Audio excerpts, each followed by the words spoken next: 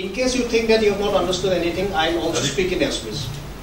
Okay, and forgive me, I'll not be able to stay very long because some of my friends are coming from Myanmar, some journalists. So after my session is over, whatever I have to say, you are free to shoot questions to me.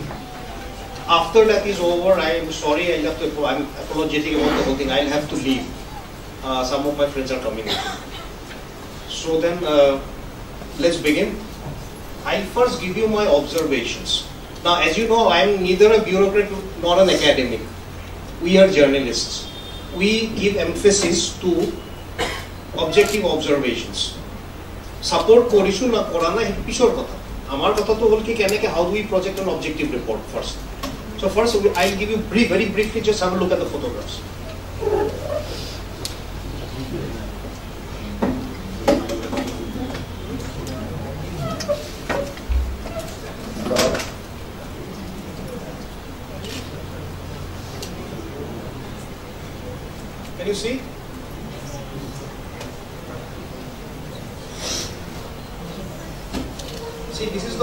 Bazar, you have seen the color, the, the, the yellow color, and this is the red color, Northern Rakhine, where the entire conflict has been concentrated. Northern Rakhine, mainly three areas: Maungdaw, Buthidaung, Rathedaung, and all the people have moved over to the border, across the border to Cox Bazar. The border is 170 miles. Now, uh, first have a look at the photograph then. Now, this is the Naf River. I am standing on in Teknaf, Cox Bazar. The other side is Rakhine. Okay, this is the river. This is an estuary actually. The other side is Myanmar. I, I, I have taken the photos uh, uh, standing from Cox Bazar. This is Teknaf. Okay, just have a look. Now this is a camp. This is, these are Hindus, not Muslims. For the first time, this is the sixth wave. For the first time, 600 to 800 Hindus have also come to Cox Bazar. In this conflict, Buddhists have also got displaced, but Buddhists haven't come to Cox Bazar. They have got settled in different monasteries in Rakhine. Okay, now I have shown you the photograph. There is a reason. I'll come to that later. This is a camp in uh, Kutupalong in Ukhia. From Ukhia to Teknaf, it's 40 kilometers. Now, this camp was set up earlier. This is not a new camp. This, the, there are 28,000 people here, centered here. Now, I stayed there for about a week or so in mid-October. Every day, as we were among the Rohingya traveling up and down, every day this was a common sight. More people coming from Myanmar. They are yet to get accommodation in the camps, no food, nothing, no medicines, nothing. This is a very common sight. So this is the condition. Even now, about a week back, I have heard uh, even people are coming even now also. Now this man, he was shot twice. This is a very rare case. Once he was shot on, the, on his left arm uh, earlier in September. Then again he was shot on the leg. But he somehow managed to escape. He somehow managed to reach the camp in Cox Bazar. This is an old camp. This is the Nayapara camp. This is one place where it is believed that uh, some militants are there, are some militants. This is the place last year. It's all on the net, it has been reported. One home guard commander of a Bangladeshi paramilitary outfit called Ansar, A-N-S-A-R, was shot dead right at this place. Just right at this place. Somewhere, uh, just this is the gate. Just about 20 meters from the gate, the commander was shot dead. Ansar. It's all on the net. If it's, uh, it has come out, it has been reported. Okay. So you've just got yourself connected. This is the situation.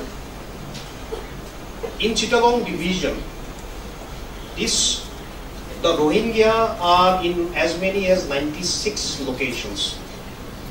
Now this will go up to 127. This current wave is the sixth wave. So a number wave it. It started in 1978, again in 1992, 94, 2012, 2016, 2017. And this is the largest wave so far, more than 6 lakhs of people. Okay? In Cox's Bazar, the total population of Rohingya is over 8 lakhs, of a total population of approximately 3.5 million. In Bangladesh, the total population of Rohingya would be over 1 million. Here and there, everywhere. in Chittagong, Chittagong division, there is a district called Bandorbon. There is a place called Naikongchari. There also you have a huge number of people settled are from the earlier batches. So this is the brief background. Now here are my brief observations. As you have been, we have been reading in the newspapers about a deal between Myanmar and Bangladesh. That a deal would be clinched that will facilitate the repatriation of the Rohingya people. The question is, what will happen now? When I, during the course of my stay in Cox's Bazar in these camps, we tried to, as a journalist, I tried to speak to as many people as possible. We went to the Hindu camps also. Our focus on obviously was on the Muslims. The Muslims, they are very reluctant to go back. They are doubtful. I have come across some cases in this camp. A person who was very, who was a kid, he was first evicted along with his parents. He came to came came to this camp in '92. went back in '94. Uh, went back in the same year after the Myanmar uh, government decided to take some of the refugees. Then they came back again in 94. So there are many cases of people who have come more than once and they are not going back. Now there are some other aspects to this whole story. Many of the refugees, they had a plan. The moment they heard about the government plan that okay, they can come back, they can go back, they went back, sold off their lands, and then they've come back to uh, Bangladesh. So they have a plan also. So they they have the land. Now this time, what has happened is it has also been reported. The land that they have have already been confiscated. They say. Now, for the first time, this conflict in 2017 is different from the earlier conflicts. Why? Number one, in, in terms of the scale, in terms of the scale of the violence. At many places, the Myanmar army launched, it was a brutal crackdown, but, but would these civilians also join hands with the army to attack the villages? This is a big difference from the previous conflicts. Number two, Buddhists and Hindus have also been displaced this time, though not in large numbers. Hindus, uh, one section of Hindus have come to Cox's Bazar. Another section has gone to the capital of Rakhine State called Sittwe, where Buddhists have also gone. Now, according to latest reports, many Hindus have been sent back to their villages. The third difference is that this crackdown and this exodus of Rohingya comes in the backdrop of militancy. Arakan Rohingya Salvation Army. We know that on 25th of August, on 25th of August, the militants launched an offensive. About 30 police outposts were attacked. Approximately, I don't remember the number, I think 12 or 13 people have died. So this is the last year also on 9th of October, the ARSA had launched an attack. After 9th of October last year, according to our sources, the Myanmar army had already formed up a plan to launch a crackdown. The offensive would have been there. Now our contacts tell us that uh, some even some famous journalists like Bertil Lintner also, they also say that the original plan was to reduce the Muslim Rohingya population by 40% in Rakhine state. Now after the 25th of August incident, the plan was probably to evict 80% of the people. And the campaign was done in such a manner this time that it was also to ensure that the Rohingya don't come back. Now the deal is going on. Uh, the deal, both Myanmar government is all has said that we'll take the Rohingya. But Bangladesh government also says okay we are willing to send the Rohingya.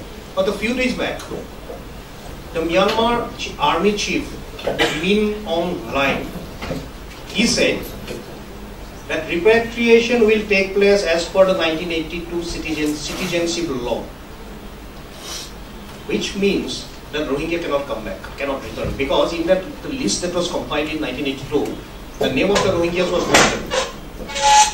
So it remains to be seen what happens. So although if you ask me personally, I am not really uh, very cheerful about the fact that Myanmar would be taking them back. Myanmar government doesn't have control over the army. The army has its own agenda.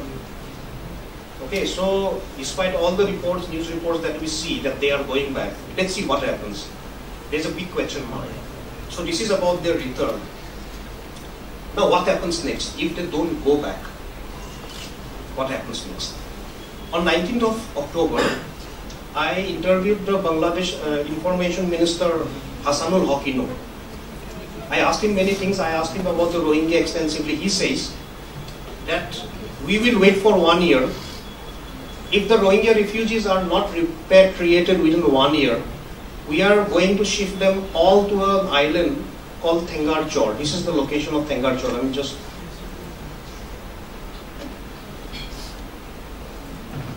Okay, this is the this is Thengar It's an island 80, 80 kilometers off Noakhali.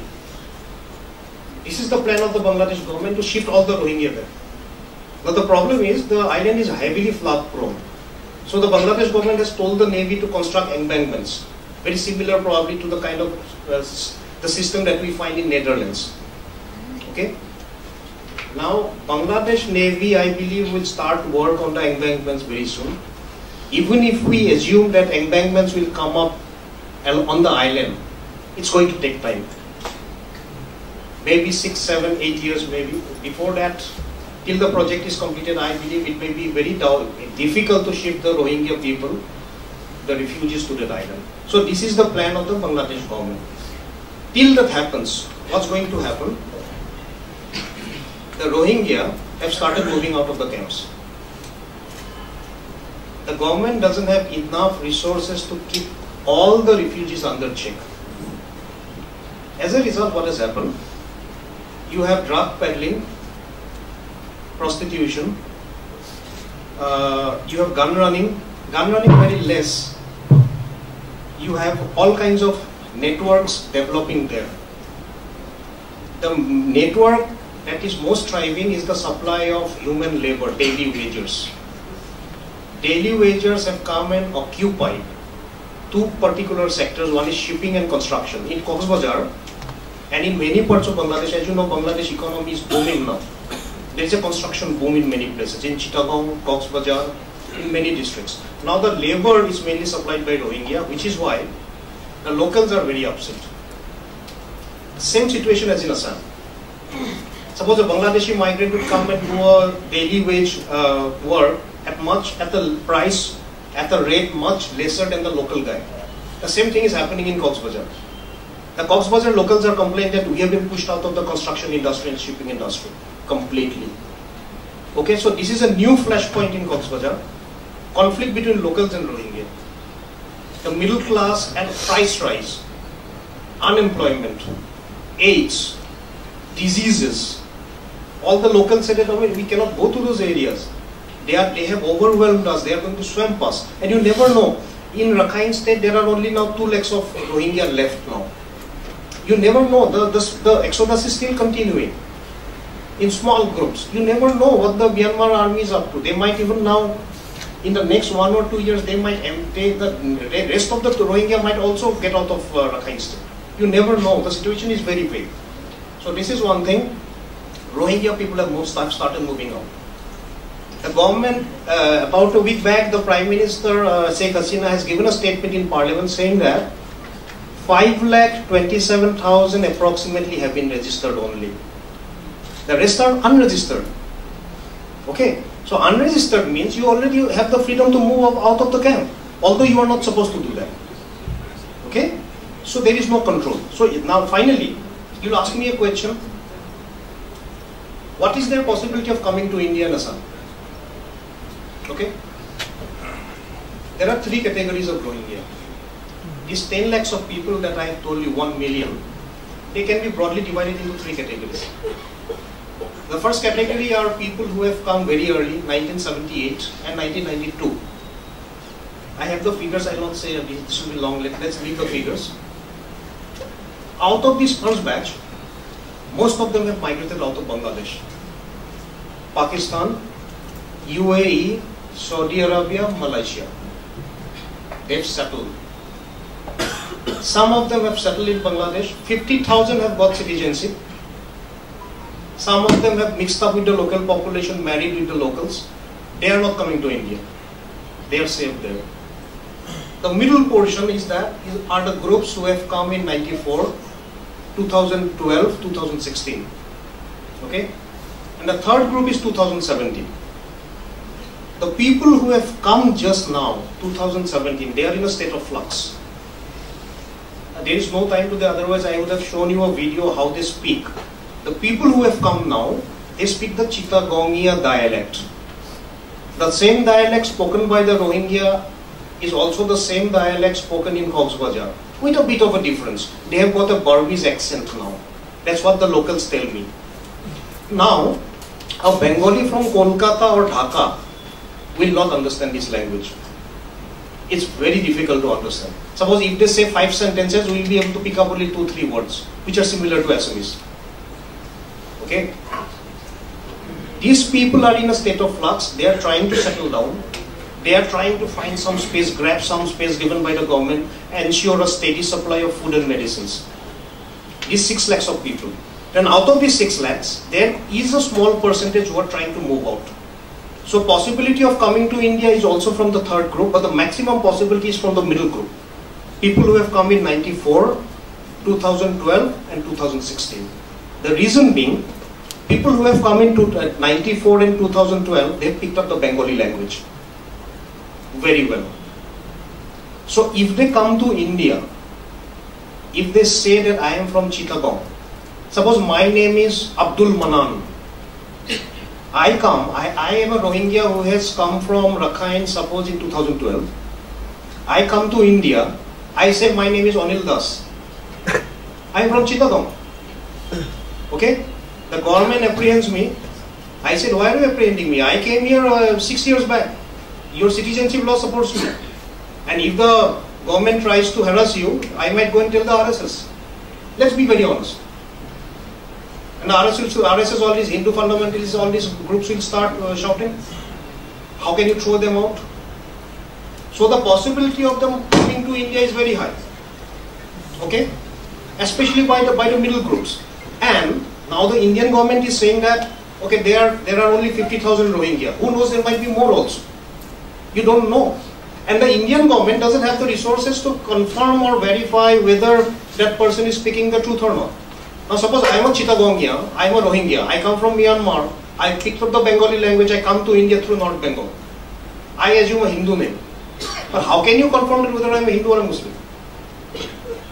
Okay? So the possibility is there, you can't rule them out. And also, in India, every middle class family needs labor. Whether it's Pune or Bhopal, to wash our clothes, wash the car, gardening, okay. Every middle class family needs labor. This is most prominent in Delhi if you go now. Okay, you find all kinds of, uh, I mean, you find Bengali women basically coming to your house to cook and all. So where are these people from? So the possibility is there. Now if you ask me what is the possibility of them coming to Assam, I don't see a very high possibility. The reason being, the Bengali migrant community is very apprehensive now in Assam. The moment they find that uh, some Rohingya have come, probably the migrants would be the first to inform the police. There is no space in Assam. Assam is bursting at the seams. Okay, so there is a greater possibility of the Rohingya coming to other parts of India rather than in Assam. So this is one thing. Then you can ask me, uh, what is the impact of Rohingya? When you see the Rohingya crisis, as you know, you, have heard about the Madani statement. He has also tried to drag link up Assam with Myanmar. Now, a few days back, five persons from Darrang district had gone to Rohingya territory. This has, was told to me by Pallab Bhattacharya, in charge of special branch. I have, I have written a story in First Post also. Five persons from Darrang district. They are former members of AMSU. They have gone to Cox's for a study tour there are some organizations from South India and Noida who have been recently coming to Assam. They are trying to expand their activities. So this has been a cause of concern for the government also. And we have been hearing that meetings are taking place between Assam government and Home Ministry. All these issues, some extra companies would be posted here. So the possibility of the Rohingya crisis further raising an alarm on the uh, with the Bangladeshi migrants cannot be ruled out. Although now it might be too early just to establish a link between the Rohingya crisis and the situation in Assam. So this is the whole thing. Finally, last thing. The government has been saying that we are going to throw the Rohingyas out. 50,000 Rohingyas. Now the Supreme Court has also stepped in. If tomorrow the Supreme Court says, okay, suppose, suppose there is a situation tomorrow that allows the government to deport the Rohingya, my question is, where will you send the Rohingya people, refugees? There is no place. In other words, my conclusion is not a single Rohingya can be thrown out of India. Not a single. I asked the Bangladesh foreign minister, will you take back the Rohingya from India? He said, why should we? That is India's headache. We already have enough on our hands. India cannot throw out a single Rohingya. Because, you can ask me why. Long back, I can't recall the name of the scholar, a scholar had said entire South Asia is running on contingency plans. There is no plan of the government, whether it's BJP, Congress, AGP or CPM. The only plan is to win elections. বেয়া পাইলাম এইটো সঁচা কথা let us accept the reality যদি কোনোবাই কয় যে চিঞৰ বাখৰ কৰি কয় ৰোহিংগীয়া কেইদিন তোমালোকে এটা কথা সুধিব লাগে ক'লৈ Where will you where will you send the Rohingya people or for that matter where will you send the illegal migrants from Assam? কোনো প্লেনেই নাই এই অফিচাৰবোৰৰ ধান্দা এটাই কেনেকৈ প্ৰমোশ্যন পাওঁ? পলিটিচিয়ানৰ ধান্দা আমি ইলেকশ্যন কেনেকৈ জিকোঁ? কেনেকৈ দেশখন চলি আছে স্পেচত ইমান ভাল কৰিছে এইটো আচৰিত ধৰণৰ কথা কিন্তু এইটো। আজি যদি ভৱিষ্যতলৈ if you are if you come across Kiren Rijiju shouting will throw the Rohingya you asking one question where সেইটো কথা নুসুধে কোনো। অসমৰ পৰা সোধা বাদেই অসমৰ মানুহৰ মানে বাদেই দিল্লীতো নুসুধে। Where are you going to send this Rohingya people at least Bangladesh or my of British government, they have at least identified one island. Plan has there, there are plans, there are plans to build embankments. And Indian government or key plan. Whether it's the BJP or the Congress or CPM, AGP, where is the plan? Okay? I think time is already up. I have already taken enough time. So this in sum are the five, six points of my observation. I can go on and on. There are so many aspects. So many aspects, it will not end actually. It's a very huge topic. Lastly, you can ask me about militancy. Just two lines. Uh, militancy in in Rakhine, it, it might drag on for a long time. The reason there are two reasons. Uh, ARSA has enough funds. ARSA has enough human resources. The only problem with ARSA is lack of weapons. Now, why there is lack of weapons, I will not go into all these things. If you, I have written a story in the wire.in. If you check, I, have written everything. Why there is a lack of, there is lack of weapons. Now, these are two factors favoring ARSA. They are, they have strength, entrenched themselves in the Yoma mountain range. Now, in the Yoma mountain range, even the Myanmar army has not been launching operations. Maybe they are waiting for some time. Many of the militants have come to Cox's Bazar. There is a place called Shamlapur in Teknaf. Many of these jihadis, uh, it's wrong to use the word jihadi, many of these ARSA fighters, guerrillas, are inside the camp. It's the safest place actually. So in fact, our contacts did not allow us to enter Shamlapur. We, we wanted to go there. We just saw the camp, we passed by. Okay. Myanmar army, this is not the first time that they have launched a brutal campaign like this. We know many instances in Sagaing division in the Naga region, Kachin, Shan State, everywhere. Number two, Myanmar army is a very tough army. They will not give up. Even if it means fighting for 20, 30 years. So this militancy could be long drawn. They have got money, they have got human resources, although active competence, uh, some observers say it's not more than 1,000. But there is a huge pool of human resources. The moment they want more resources, more human resources, they'll just take everybody from Cox's Bazar. And this time, in, when the attack took place on August 25th, many people from Cox's Bazar had gone and participated. So these two regions have become linked. Okay, but they are lacking weapons. Their efforts have been made to bring weapons from Thailand, from somewhere, from other places in Southeast Asia, but it has not yet succeeded. Which is why on August 25th, even villagers attacked the police stations with dows, machetes and all, with bombs. They had no weapons. Weapons are there, but very less. Okay, so this is about militancy. Uh, anything else? I mean, this is all. I can go on and on. I think time is up. I, I think already. I have a few questions already lined up. Okay. It's a problem with me. I, See, so I, I am also I will not be able to stay for long. Whatever questions you have, please start asking.